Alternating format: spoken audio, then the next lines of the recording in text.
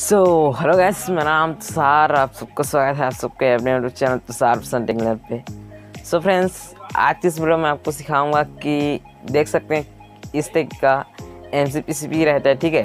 तो ये एम क्या होता है फ्रेंड्स कि इसका जो लाइट रहता है, वो फ्यूज हो जाता है तो हम लोग क्या करते हैं? उस लाइट अगर फ्यूज हो जाता है तो पूरा एमसीपीसी को निकाल के फेंक देते हैं, ठीक है? तो आज इस वीडियो में आपको यही चीज़ सिखाने वाला हूँ। अगर एमसीपीसीबी का अगर कोई सा भी असेंबली एल जो है ख़राब हो जाए तो उसे कैसे पहचान सकते हैं? तो आज की इस वीडियो में फ्रेंड्स, मैं आपको यही सिखाने वाला हूँ। तो चलो आज की वीडियो यहाँ स्टार्ट करते हैं।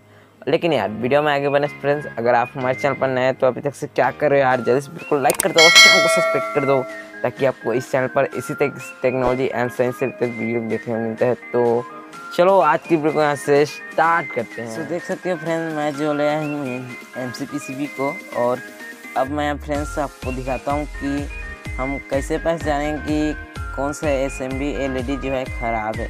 तो इसे टेस्ट करने के लिए आज मैं आपको खाली इसे 12 वोल्ट डीसी से मैं पावर सप्लाई से अपना जो बारह ज़ीरो बारह का ट्रांसफार्मर है, ठीक है? बारह ज़ीरो का उससे मैं इसे आपको चेक करके दिखाऊँगा कि कौन सा एलईडी सही है और कौन सा एलईडी सही नहीं है, ठीक है? अगले आने वाले वीडियो में फिर मैं इसका एक टेस्टर बना के भी आपको दिखाऊँगा, इसे किस तरीके से टेस्ट करते हैं, ठीक है? तो आज की इस वीडियो में आपको खाली ये जो मैं यहाँ पर दो ठो वायर ले आई हूँ, ठीक है फ्रेंड्स और इन दोनों वायर पे अभी मैं आपको चेक करके दिखा दे रहा हूँ, बारह वोल्ट डी आ रहा है, ठीक है? ये मैं मल्टीमीटर ले आया, ठीक है फ्रेंड्स और मैं इसे यहाँ पर चेक करूँगा, ठीक है? यहाँ पर कितना वोल्टेज आ रहा है, कितना वोल्टेज नहीं आ रहा है आपको मल्टीमीटर पे दिख जाएगा, ठीक है? तो सो देख सकते हैं फ्रेंड्स यहाँ पर 18 वोल्ट के करीब आ रहा है।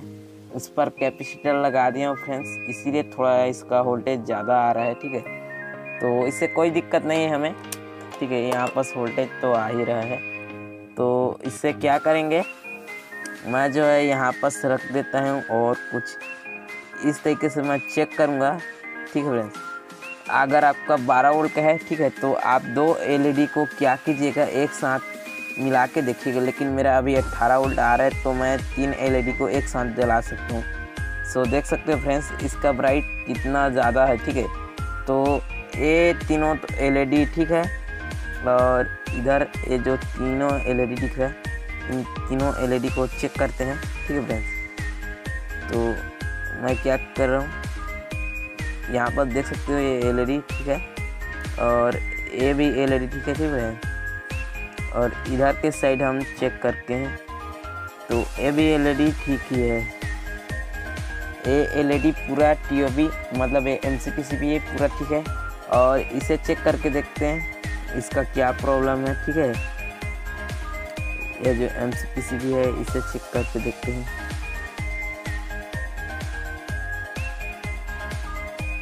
तो देख सकते हैं फ्रेंड्स इसे मैं चेक करके दिखा रहा हूँ। तो इसका तो है फ्रेंड्स कोई भी एलईडी चल नहीं रहा, ठीक है? इसे मैं अच्छे तरीके से देख रहा हूँ।